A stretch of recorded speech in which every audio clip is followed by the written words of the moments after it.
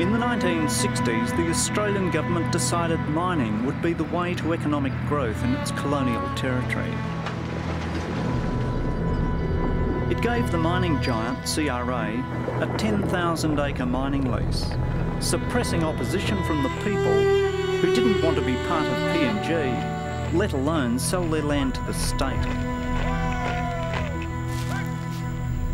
How much money will the government give you if it takes away your land? The government is going to give us two, two dollars an acre.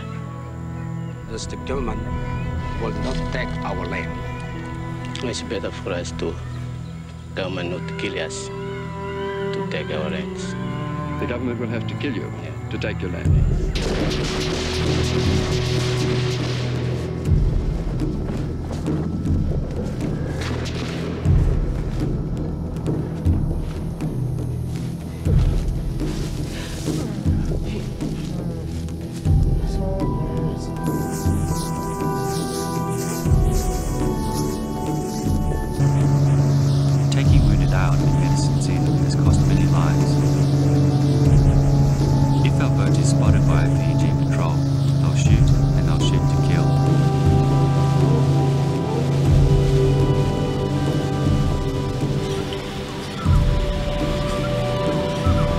We left for a good shelter in the mountains, in the bushes, because those security forces came over to Tunuru and started, you know, bombarding our place with mobile bombs, throwing us, so we had to leave.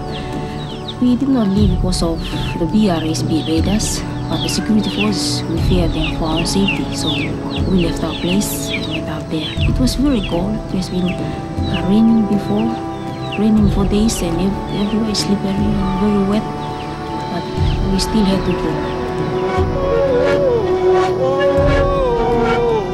The main thing that we are fighting for is it's uh, self-defense. Our boys have proven that they are more than capable of uh, matching a well-trained and a well-armed uh, army of Papua New Guinea. Let's talk about peace. Then, we belong to Angre Nongen. We are belong to Angre Nongen. We belong people to you. Plenty. We, we like die. Angre. Look at Mercy. Look school. Number one we talking peace. We us for less. You ask for something.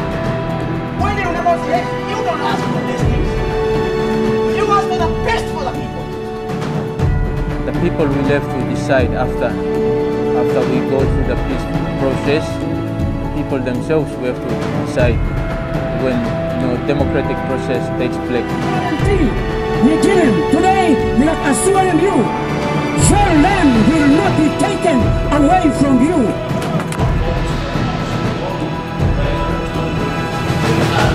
43, 3,043. The number of votes for option two, independence, 176,928 votes.